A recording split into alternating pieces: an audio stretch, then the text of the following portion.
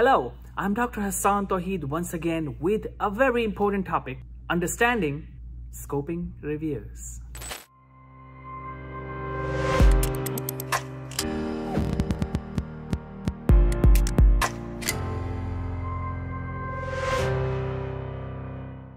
Understanding scoping reviews.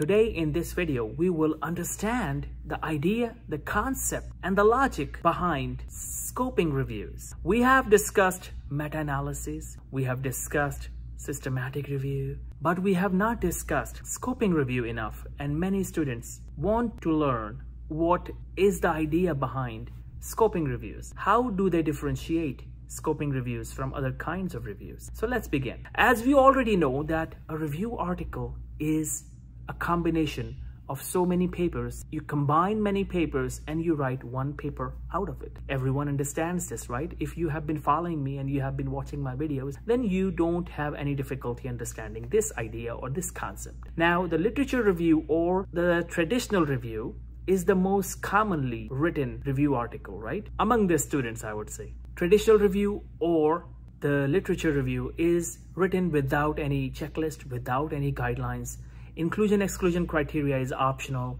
and no quality appraisal or assessment is done. But in the scoping review, what do we actually do?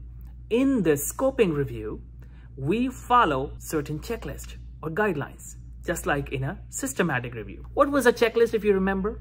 P-R-I-S-M-A, PRISMA checklist for systematic review, right? And meta-analysis. PRISMA stands for Preferred Reporting Items for Systematic Review and Meta-Analysis. The same PRISMA for scoping reviews is also available. PRISMA for scoping reviews. If you are planning to write a scoping review, you will follow PRISMA for scoping reviews. But now what is the difference? Remember, systematic review is narrowed. The question is focused. But in scoping review, the question is broad. Because in systematic review, we are actually answering a question, a narrowed, a focused question. But here in scoping review, we are not. We are not doing it. What are we actually doing? We are actually looking at how much, how much data is already available. What has been written? What kinds of studies are written?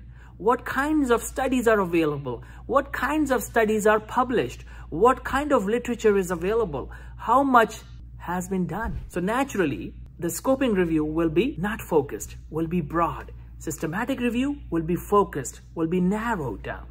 The question will be focused to the PICO question. But here in scoping review, the question is not that focused. Usually we use the PCC question, the population, the concept, and the context. This is usually the PCC question uh, mod model of scoping review. Now the question is, why do we do that? Because it is actually a precursor to a systematic review.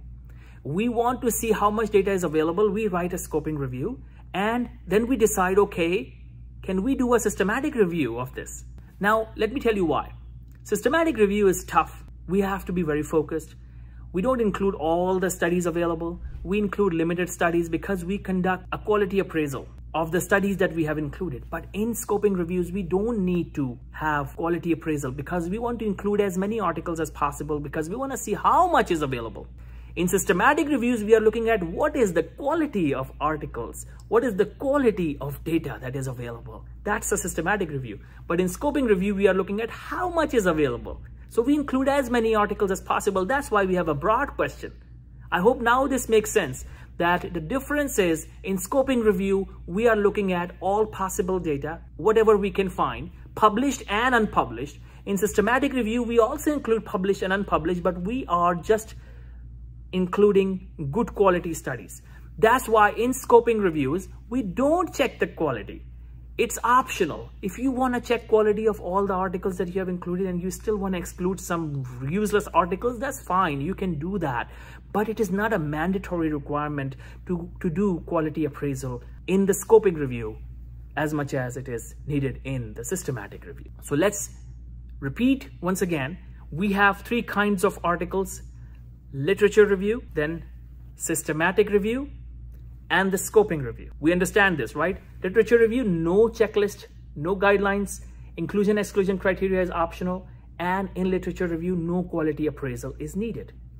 In systematic review, PRISMA checklist for systematic reviews, of course, preferred reporting items for systematic reviews and meta-analysis. The same will, will be used for meta-analysis.